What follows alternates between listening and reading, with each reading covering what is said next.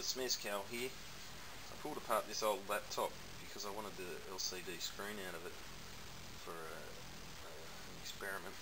Um, something I wanted to show you, which I find a, is an interesting subject. Interference patterns. So here we have two pieces of um, the glass on the front and it's got etching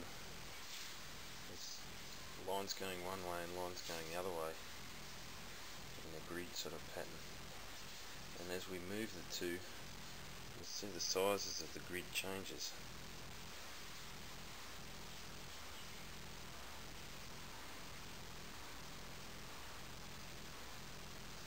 And this could have handy applications such as the, the obvious one straight away is you could use it as a map caliper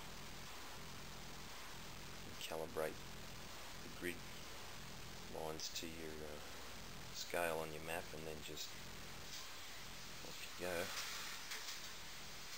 Possibly be able to use it in surveying, somehow calibrate it.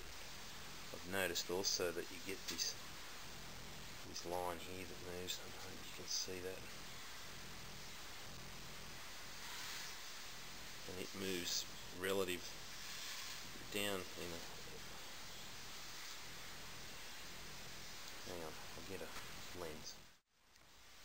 This is how you do close-ups with your digital cameras.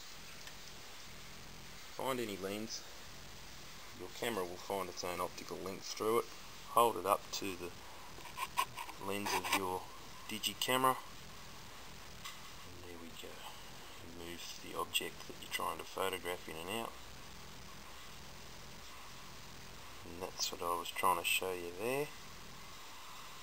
See how they move like a slider.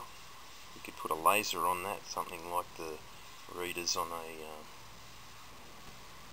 uh, optical mouse with the laser bouncing off it and somehow calibrate the whole thing. You could possibly use it for range finding. I'm sure it's got a whole heap of applications. Anyway that's just something I thought I'd show you. Thanks for watching.